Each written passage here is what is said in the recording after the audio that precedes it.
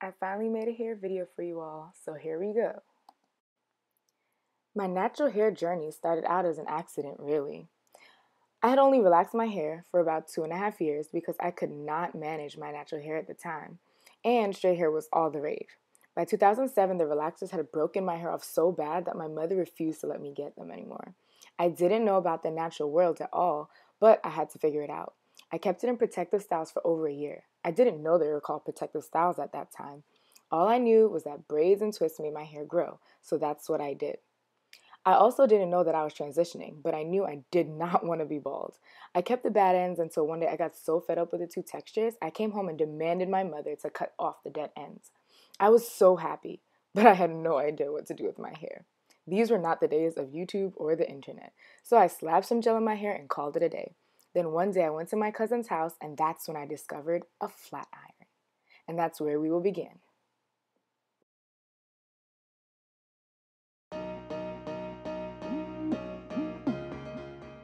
This is 2007 when I made my big chop and I discovered what a flat iron did for my hair. Sometimes I twisted it, but that flat iron was my best friend.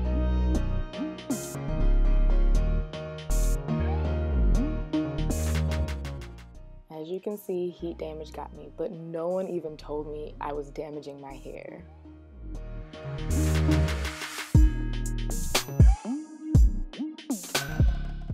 I still got protective styles occasionally, but I was still killing my hair with my flat iron. Look at that horrible heat damage.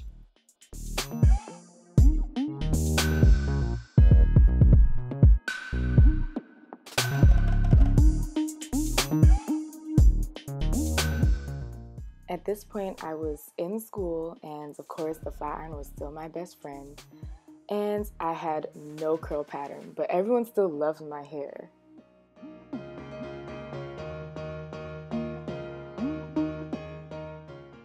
I love my hair too, and you could not tell me anything. I thought I was fly.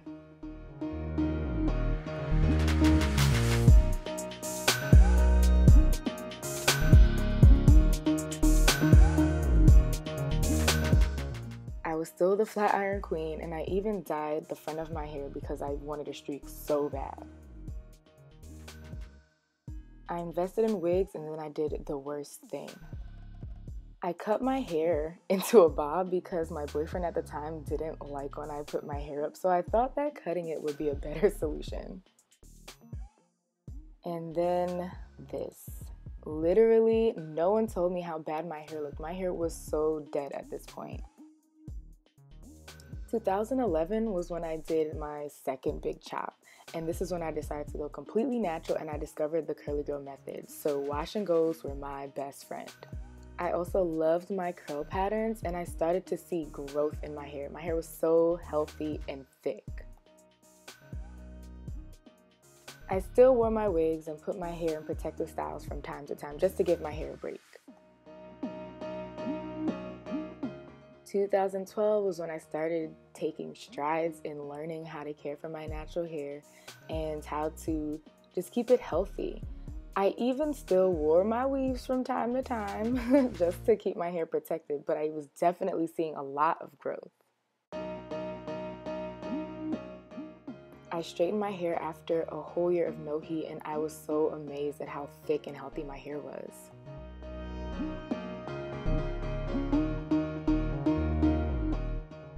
Then I discovered mini twists. And that was my favorite style for a really long time.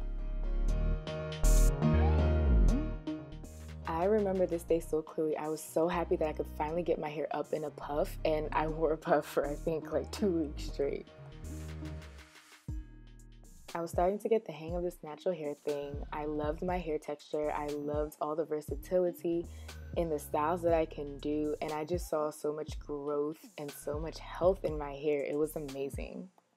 Around this time was when I also started paying attention to what products I put in my hair. And this is when I started using more natural products or all natural products, you know, without parabens and sulfates and things like that. I also was co washing, so I stopped using shampoos and different things like that. And I noticed a dramatic change in the state of my hair.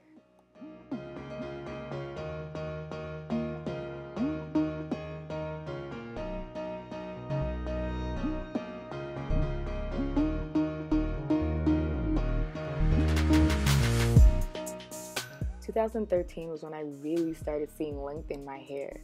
I was still experimenting with styles, and of course, I would always have my hair out. Everyone knew me as the girl with the afro. It was my favorite thing to do with my hair. Everything was going so great until one of the worst hair days of my life. I had a really bad situation with curl formers and my hair came out like a bird's nest. I tried to fix it, I tried to comb it, I tried to condition it. But when I flat ironed it, my ends were so disgusting, I had to cut off about two inches of my hair. I remember that day I thought about getting a relaxer again and I was so pissed off. Like I was so angry and I just decided, you know what, I'm just gonna keep pushing forward with this.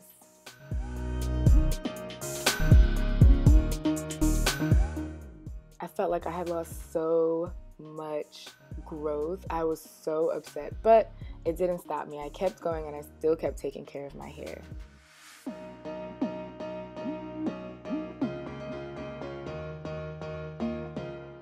2013 was definitely the year of experimentation for me. I tried so many styles, used different products, tried to figure out what worked for me, but I had so much fun with my hair at this time.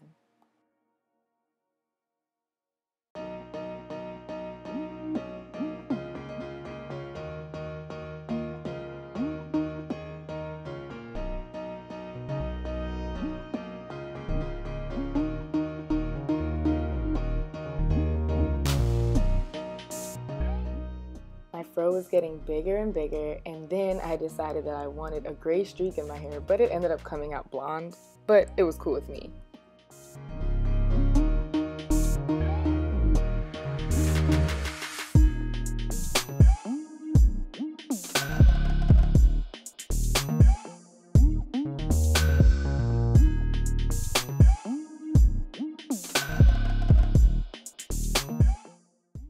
This day, 2013, I finally reached bra strap length and I was beyond excited.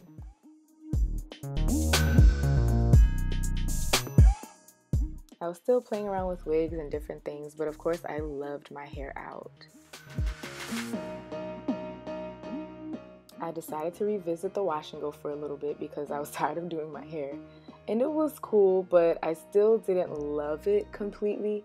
But I kept playing around with it and experimenting to see if there were any products that made me really like my wash and go. And this happens to be around the time when I made my um, As I Am video with the curling jelly. Yeah, this.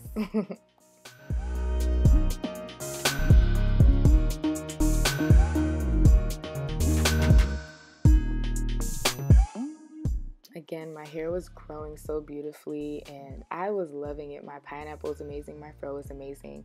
Of course, I would throw it in a protective style every now and again, but other than that, I would have my hair out in its natural state.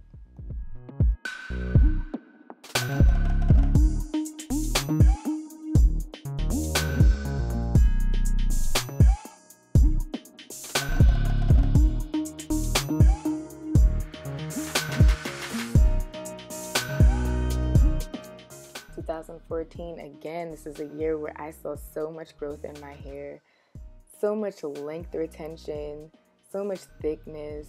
My ends weren't split. It was just a really, really good year. Ow, look how thick my twists were. Oh my gosh, so amazing.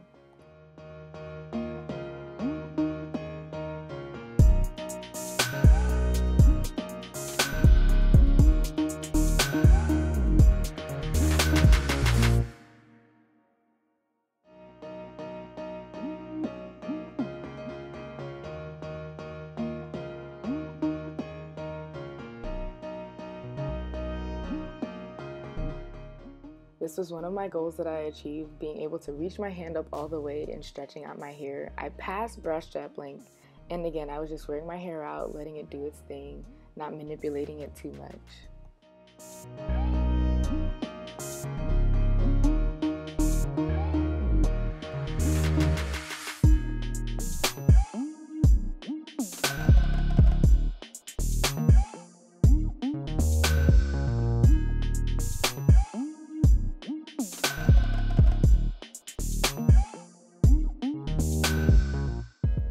Is my sister at her bridal shower. Clearly, we have really good genes. Our hair is really awesome. And of course, I had to do something dramatic and I shaved off the side of my head, which I have a video on that so many people seem to like watching. And I still had my length, but I shaved my side and I loved it. I actually did it because I was rebelling against my job, but I still loved it nonetheless.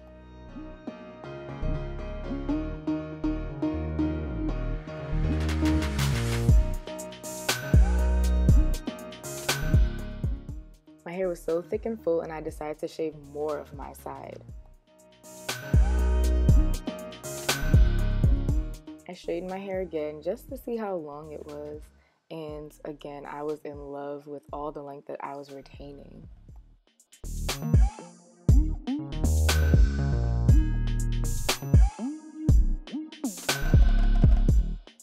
December 13, 2014, I thought this was a really great day to start something amazing. So I decided to start locking my hair. I started out 2015 locked, and my hair was doing its thing. It was locking, it was growing, and I was loving it.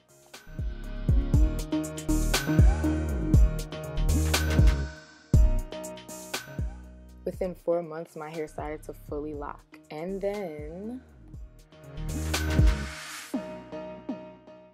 I was in Hawaii with my ex for my birthday, but I was so depressed. I felt locked up, I felt caged, and it was a really bad time for me. So, right before we left, I decided to comb out my locks and break up with my boyfriend in Hawaii on my birthday.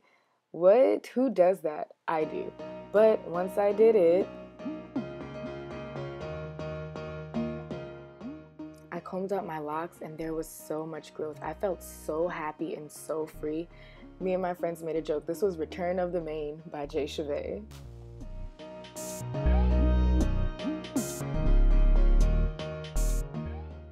All this hair and I was so happy. But I did notice that my hair texture was a little bit different. I guess it was all those months of me not being able to super deep condition my hair in the locks. But it was still growing. Then I moved to Georgia and I just kept my hair in protective styles for a few months between braids, twists, faux locks, crochet braids, and wigs. I just kept my hair protected and covered up.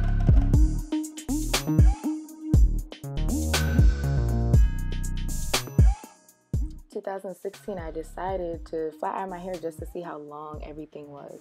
My hair was still growing, and I was finally able to put my hair up in a ponytail because my shaved side was still growing out. I was so happy. I was beyond happy, actually.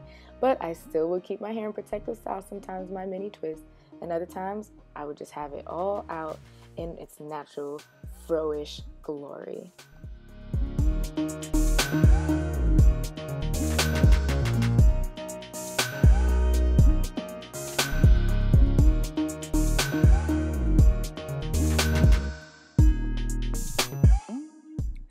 State is my hair in now? Alright, so this is where I am now. It's May 2016.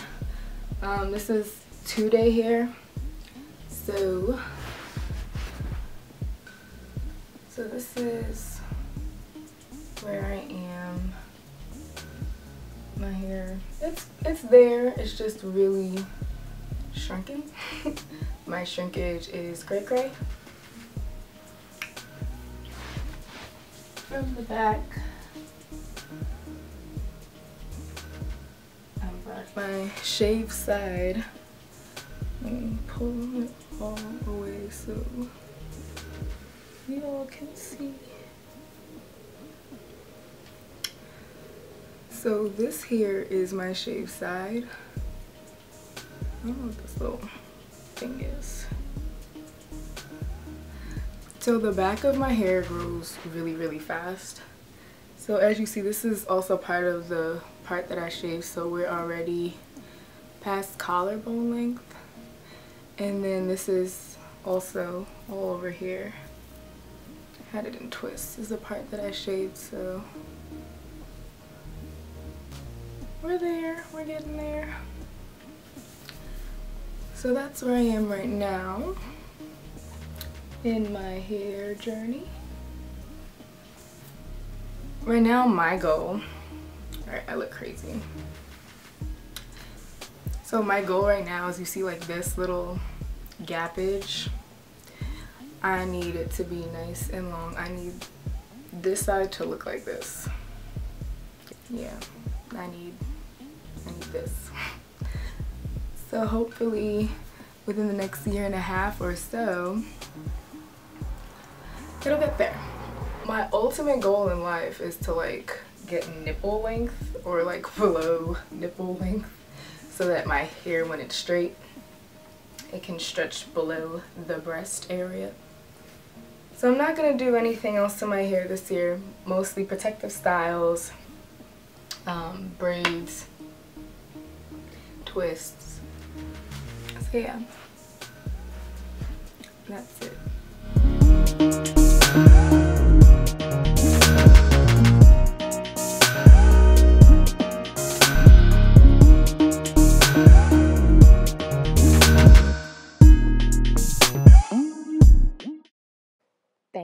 Watching. I hope you all enjoyed my hair journey for the past nine years. And hopefully you'll stick with me and you can see more growth and changes as it comes.